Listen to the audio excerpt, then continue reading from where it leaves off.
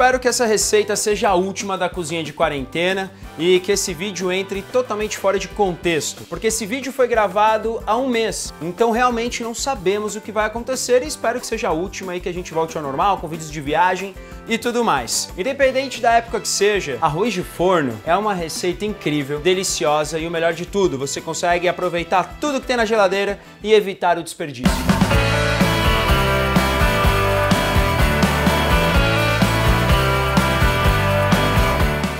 Minha panela já aquecendo em fogo médio, coloco um fio de azeite e eu tenho aqui alguns vegetais. Cebola picada, irregular mesmo, cenoura, couve-flor, brócolis em rama e sua folha, tá? A folha do brócolis é uma delícia. Vagem bem picadinha, não precisa nem cozinhar antes e tomate. Então eu vou começar pelos que demoram mais tempo, né, para cozinhar. Então cebola, cenoura e a couve-flor também tudo tá cru, gente. Aliás, se você tiver congelado, pode usar também. Eu ensinei um mês atrás como preservar e armazenar corretamente os alimentos. Tudo aqui para dentro, dou uma misturadona. Eu já posso colocar um quadradinho de manteiga para isso tudo ir pegando sabor, mas se você não quiser, não tem problema, é opcional. Já posso temperar com uma pitada de sal, pimenta do reino, aí já dou mais uma misturada, Dei uma refogadinha de dois minutos. Agora sim eu coloco o brócolis. E por que eu não coloco ele desde o começo? Porque aqui o jogo é bem rápido. Tá a folha e o caule também do brócolis. Ele é meio fibroso, mas depois que você dá uma cozinhada e como vai no forno ainda, ele vai ficar delícia e vai dar textura ainda. E a vagem tá aqui também. Mais uma misturada. A ideia dessa receita também veio por causa das crianças. Eu quando era moleque eu comia demais arroz de forno. E no arroz de forno você consegue dar uma escondidinha nos vegetais, sabe? Para quem tem receio. Então você fala, filho, filha, olha lá, arroz de forno, hum, que delícia. Aí você vai ver, ó, um monte de vegetal, delícia e nutritivo. Então, continuando nessa linha, tomate. Inclusive, ó, é um tomate que não tá, nossa, meu Deus, que tomate mais bonito. Não, só que ele não tá estragado e não tem por que não utilizá-lo. Se você vê que tem uma abobrinha que tá estragando e o tomate não, usa a abobrinha. Então essa é a ideia, usar o que tem na geladeira. Então eu corto ele ao meio, tiro só essa pontinha aqui, e aí eu venho...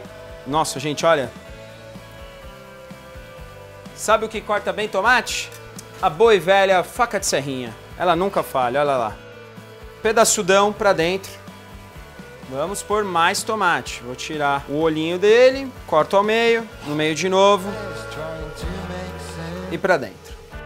Dou mais uma corrigida no sal e agora sim, arroz. E ele já está cozido, a ideia é essa mesmo. Sobrou aquele arroz do dia anterior ou do almoço, reaproveita ele e faz uma outra receita. Então vamos colocar junto com os vegetais.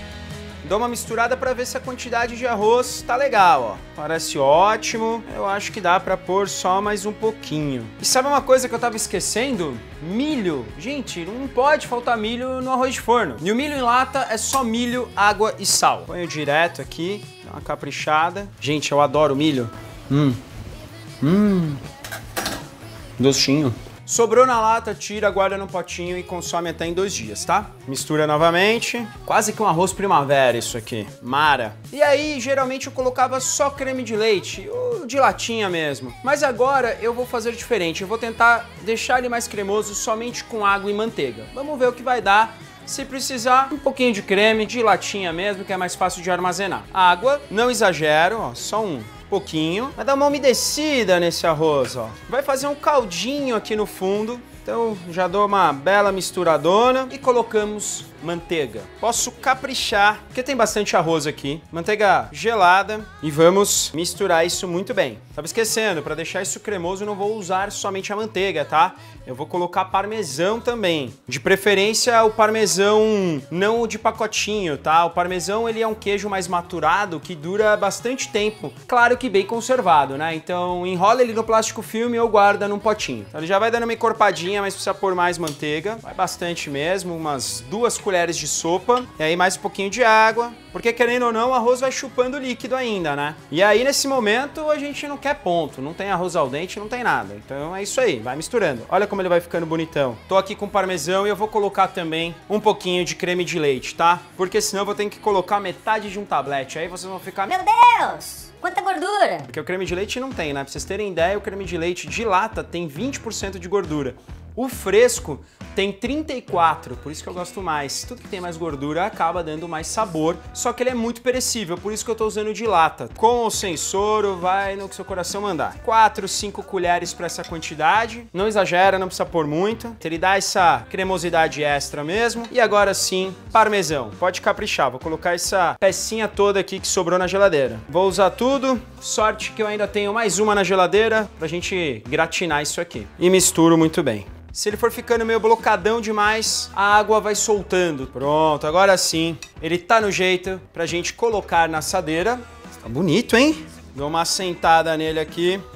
Eu acho que se quebrar um ovo, dois só, três, sabe? Meio que no centro. Bom, e aí um dilema que a gente tava aqui era, coloca ovo ou não coloca ovo? Como aqui é ousadia e alegria, vamos colocar ovo nesse arroz de forno. Então, eu vou fazer aqui, ó, um buraquinho, outro buraquinho e aqui outro para colocar os ovinhos um ovo, olha lá, outro ovo. Gente, o ovo é opcional, tá? Quem me conhece no canal faz um tempinho já tá acostumado. Faço o que eu digo, mas não faço o que eu faço.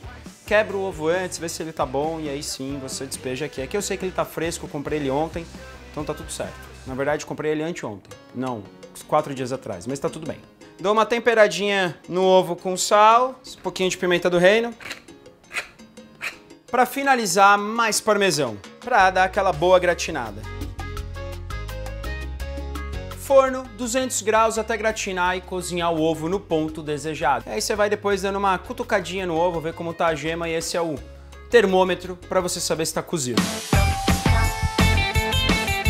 Enquanto o arroz está no forno, é muito louco, né? A gente está gravando esse vídeo 19 de março. Enfim, a gente não sabe. A gente tem uma vantagem, digamos assim, um, se soubermos usar, que é ter como referência outros países, para a gente poder tomar as medidas necessárias para evitar que esse vírus se prolifere. Mas eu espero que as pessoas tenham feito a sua parte, tenham se preocupado, tudo é uma incerteza. Então é isso, vamos animar de novo, porque o arroz vai sair do forno e eu tô com fome. Olha só que lindão que ficou. O ovo cozinhou e provavelmente passou. Talvez a gema não escorra. E tá tudo bem. É para ser descomplicado. Mas se escorrer, melhor ainda. Então que rufem os tambores. Vamos ver. Não escorreu, mas também não passou. Tá cremosinho, ó. Tá bonito. Olha só que lindão que ficou.